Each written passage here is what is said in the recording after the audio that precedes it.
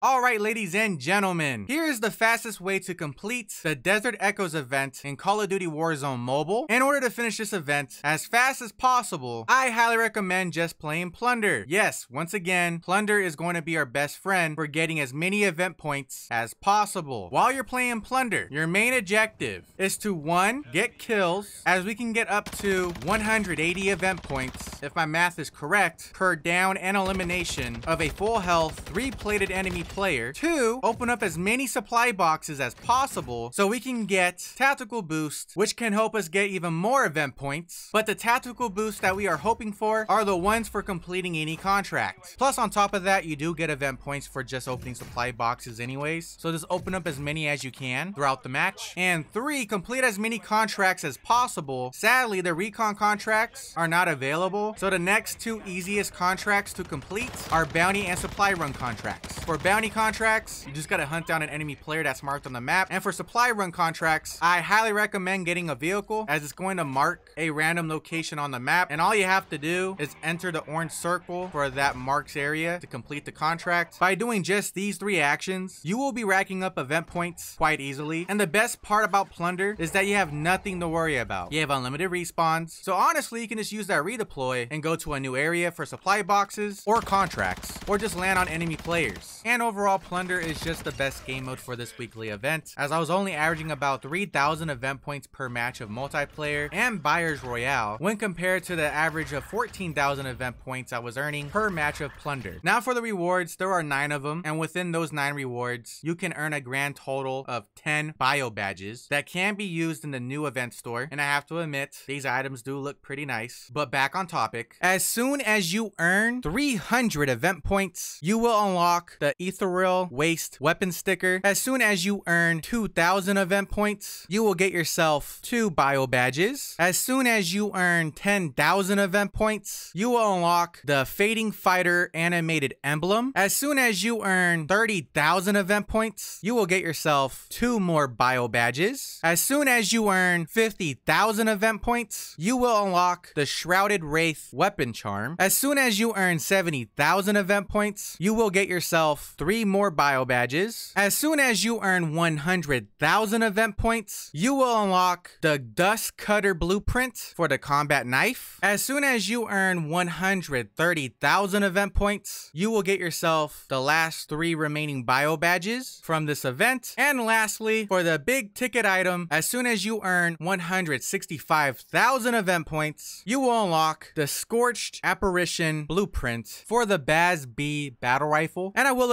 the rewards that you can get from this weekly event do not look that bad actually. But hopefully today's video was helpful. Make sure to drop a like, subscribe if you're new, turn on those post notifications, all that good stuff, and I will catch you all in the next video. Have a good one, and good luck to anyone out there that still needs to finish the Desert Echoes event in Call of Duty Warzone Mobile.